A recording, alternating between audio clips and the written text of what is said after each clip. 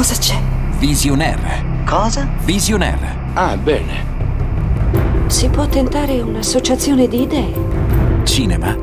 Laura Buffa. Fantastico. Visionaire. Al cinema con Laura Buffa. Ne sei sicuro? Sì, sì. Ok. Benvenuti all'appuntamento con le Vision News, le notizie dal mondo del cinema a cura di Visionaire.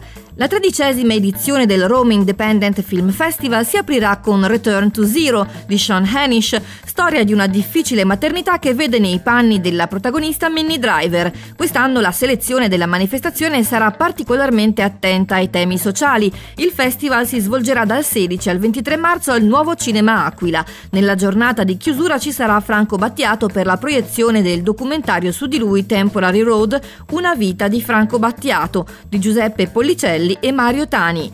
Ma parliamo ora di nuovi progetti con Elena Bonham Carter che tornerà nel Paese delle Meraviglie. Secondo Variety, l'attrice sarà di nuovo la regina di cuore di Alice in Wonderland per il sequel diretto da James Bobbin, che si intitolerà Through the Looking Glass. Sono ancora della partita anche Johnny Depp e Mia Wasikowska. Rimaniamo in ambito fiabesco perché Rune Mara sarà Tiger Lily o Giglio Tigrato, la principessa indiana che vive a Neverland, l'isola che non c'è, dove Peter Pan la salva dai pirati. Succederà in Pan, film in 3D diretto da Joe Wright. Nel cast la aspettano Hugh Jackman nel ruolo del pirata Barbanera e Garrett Hedlund in quello di Capitano Uncino. Il film è un prequel della storia originale. Intanto Carla Gugino è entrata a far parte del cast di San Andreas, disaster movie in 3D che racconta di un terribile terremoto in California, dove si trova appunto la faglia del titolo. Protagonista del film Dwayne Johnson. La direzione è firmata da Brad Payton. La Gugino sarà l'ex moglie di Johnson, un vigile del fuoco delle forze speciali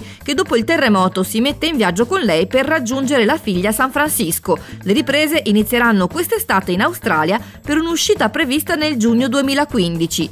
Chiudiamo con un'iniziativa che è una cannonata in tutti i sensi. Arnold Schwarzenegger possiede infatti un vero carro armato, è un pezzo dell'artiglieria austriaca della seconda guerra mondiale che l'attore usa nel tempo libero per distruggere oggetti vari, contribuendo con una donazione al programma After School All Stars per aiutare i bambini più disagiati ad avere attività extrascolastiche mirate alla salute fisica e un migliore sviluppo educativo, potreste vincere un pomeriggio da spendere con Schwarzi a giocare con con lui sul carro armato. Per il momento è tutto da Laura Buffa, ma se volete rimanere sempre aggiornati sulle novità dal mondo del cinema, cercate la pagina Facebook e il canale YouTube di Visionaire. A presto e buon cinema a tutti!